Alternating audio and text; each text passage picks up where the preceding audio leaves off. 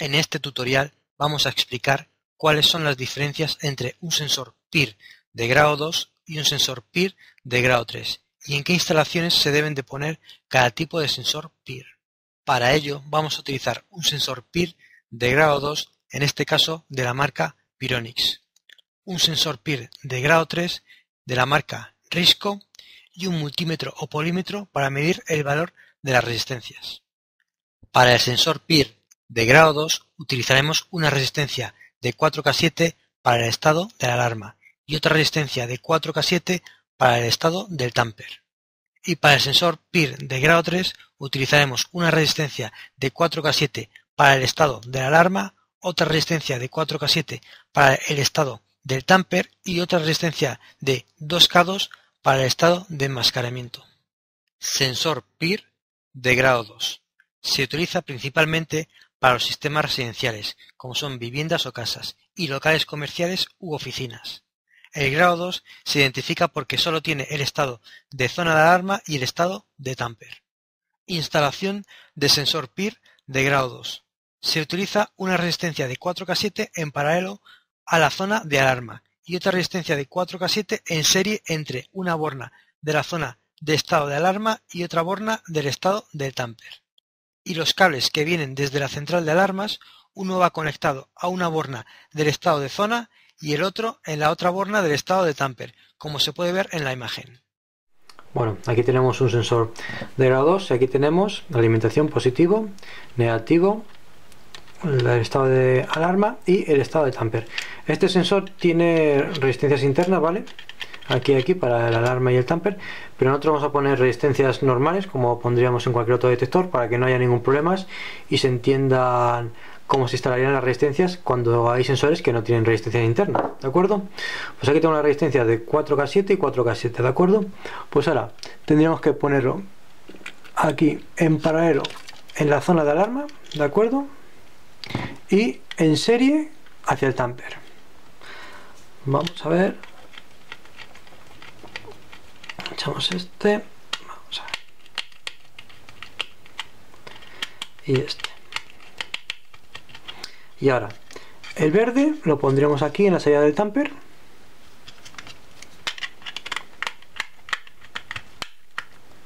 Y el amarillo lo pondríamos en la entrada de la zona de alarma junto con la resistencia. Vamos a ver alguna vez un poquito duro.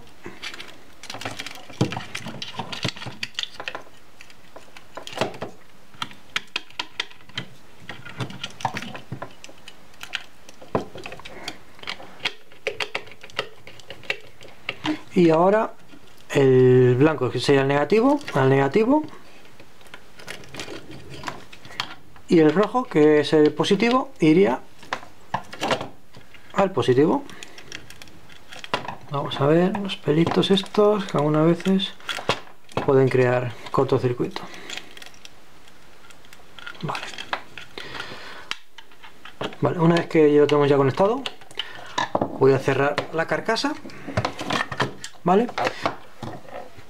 Vamos a recordar. 4K7, vamos a ver. 4K7, vamos a ver que se vea mejor. 4K7 entre la zona de alarma en paralelo, ¿vale? Y después otra, otra resistencia de 4K7 en serie entre la zona de alarma y la zona de tamper. Y aquí ya el cable verde hacia la central y el cable amarillo en la entrada de alarma.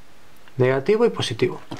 Vamos a cerrar el sensor y ahora le voy a dar corriente y vamos a comprobar mediante un polímetro o multímetro la resistencia que va a dar cuando detecte movimiento o cuando se abra el detector. Bueno, estamos aquí ya con el sensor de grado 2, ya está conectado.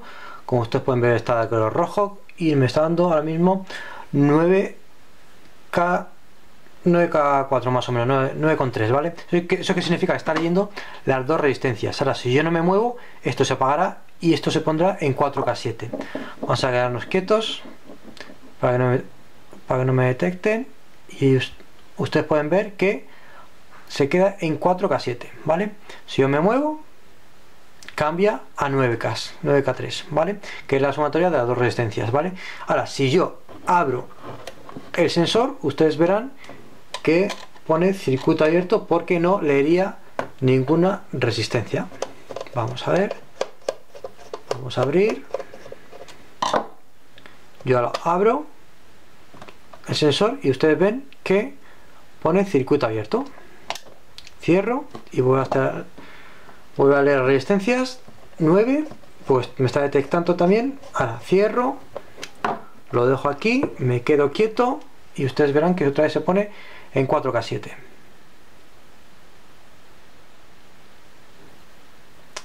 han podido ver ustedes que se pone en 4K7 con lo cual esta es la funcionalidad del sensor de grado 2 solamente tiene tamper y zona de alarma ahora vamos a ver el sensor de grado 3 sensor PIR de grado 3 se utilizan para sistemas de alta seguridad, como bancos, joyerías, etc., sitios donde la ley obliga a instalar un sistema de grado 3.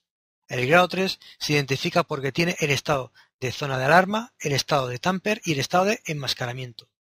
Instalación de sensor PIR de grado 3. Se instala una resistencia de 4K7 en paralelo a la zona de alarma y otra resistencia de 4K7 en serie entre una borna de la zona de estado de alarma y otra borna del estado del tamper. Un puente entre la otra borna del estado del tamper y una borna del estado de enmascaramiento. Ahora se pone una resistencia de 2K2 en paralelo en la borna del estado de enmascaramiento. Y los cables que vienen desde la central de alarmas, uno va conectado en una borna del estado de zona y el otro en la otra borna del estado de enmascaramiento, como se puede ver en la imagen. La mayoría de los sensores de grado 3 vienen con resistencias internas de varios valores, para que uno, dependiendo del puente que cortocircuite, va a tener un valor de resistencia determinado. Bueno, tenemos aquí el sensor de grado 3, ¿de acuerdo? Y este también tiene resistencias internas, aquí aquí, y también una resistencia para el enmascaramiento. Aquí pueden ver el esquema interno, si se ponen las resistencias, cómo iría, solamente un cable aquí y después otro aquí, en la salida. Aquí podemos ver que tenemos, vamos a acercar un poquitín, positivo, negativo, zona de alarma, zona de tamper y zona de fallo, que sería la zona de enmascaramiento. ¿Vale? Y aquí tenemos las, vamos a ver, las dos la resistencia de 4K7 y la resistencia de 2K2. Vale, pues vamos a conectar los cables. Este sensor lo voy a sacar, que mucho mejor para conectar los cables. Vamos a poner vamos a ver. Vamos a poner el cablecito haciendo el puente entre el tamper y el fallo. Vamos a ver. Aquí. Ahora, vamos a poner las resistencias de 4K7 en paralelo en la, en la zona de alarma y en serie hacia el tamper. Vamos a ver.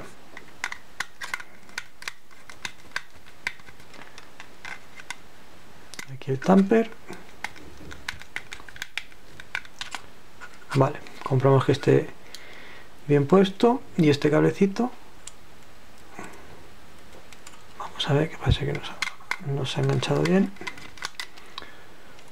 a la zona de la salida del tamper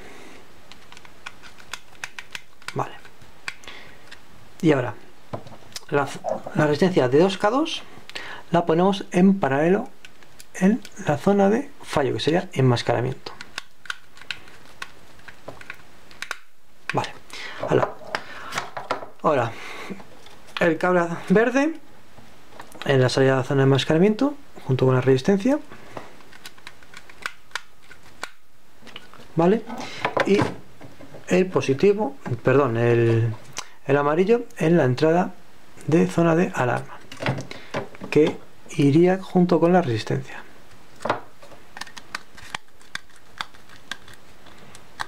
Vale. Y ahora el blanco es el negativo, que iría el negativo.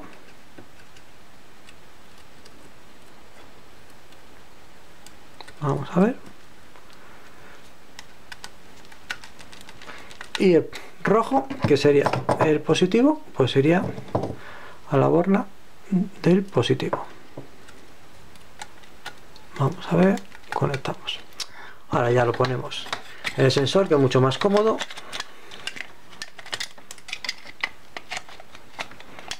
Vale conectamos. Vamos a ver. Vale. Ahora vamos a repasar tenemos en la zona de alarma resistencia de 4K7 en paralelo después en serie vamos a acercar más después en serie la resistencia de 4K7 al tamper el cablecito a la zona de aquí de fallo y después resistencia de 2K2 aquí en paralelo y después ya el cable que va a la central y el cable amarillo que es el que viene de la central negativo positivo vale y aquí vemos que tienen potenciómetros para diferentes tipos de ajustes vale y las resistencias internas que he dicho. Ahora lo voy a cerrar.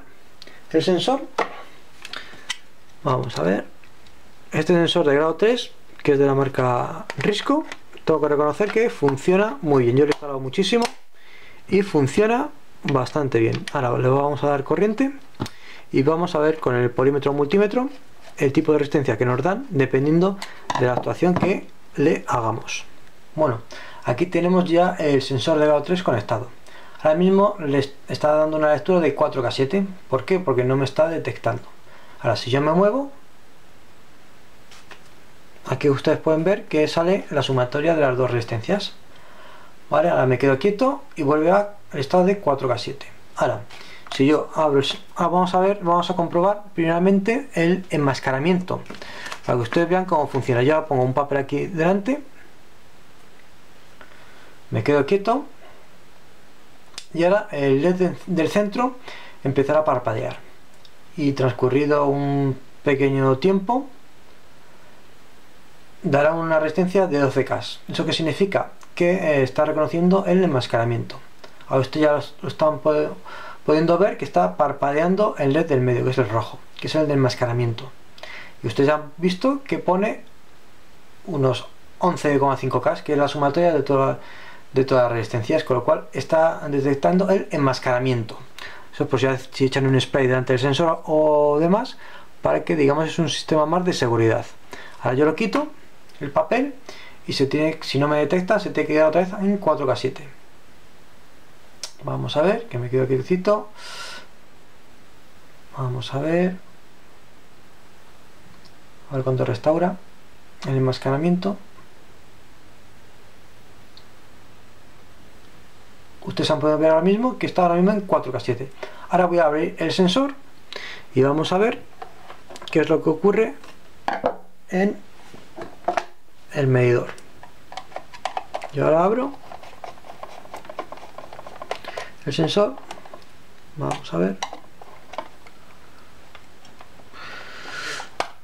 Y me da circuito abierto de acuerdo ya lo cierro. Vuelvo a poner el tornillo.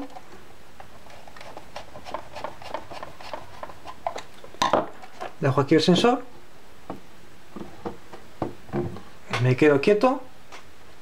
Y ahora vuelvo a tener que tener 4K7 ustedes ahí lo han podido ver con lo cual han podido comprobar cuál, digamos, son las características del grado 3, que es, es el enmascaramiento.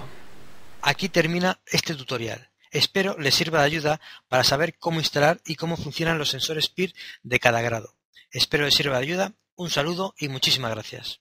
Si quieres saber más sobre seguridad electrónica, suscríbase a este canal o visite nuestra página web o de Facebook, Seguridad Electrónica y algo más, donde continuamente ofreceremos información sobre esta área que puede ser de su interés. Espero les sirva de ayuda, un saludo y muchísimas gracias.